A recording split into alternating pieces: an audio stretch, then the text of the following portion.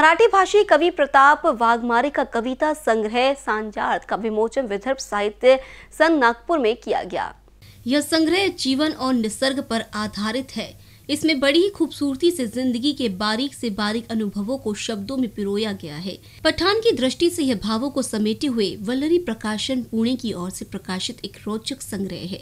यह विमोचन विदर्भ साहित्य संघ तथा वल्लरी प्रकाशन पुणे की ओर से आयोजित किया गया। इस मौके पर विशिष्ट अतिथि के रूप में प्रदीप दाती, डॉक्टर गिरीश गांधी और प्रख्यात कवि डॉक्टर रविन्द्र शोभाणे, बब्बन सराटकर, विष्णु मनोहर तीर्थराज काबगते और सना पंडित ने कविता संग्रह सांजार्थ का विमोचन किया। साथ ही इन्होंने कविता संग्रह की कुछ कविताओं का काव्य पाठ भी किया, जिसका उपस्थित जन समूह ने करतल ध्वनि से स्वागत किया। मुख्य अतिथि गिरीश गांधी ने कवि प्रताप वाघमारे की तारीफ़ करते हुए कहा कि प्रशासकीय सेवा में तहसीलदार के अहदे पर रहते हुए लोगों को सेवा देते हुए कविता संग्रह लिखना दर्शाता है कि लेखन कितना बहुमुखी प्रतिभा का धनी है।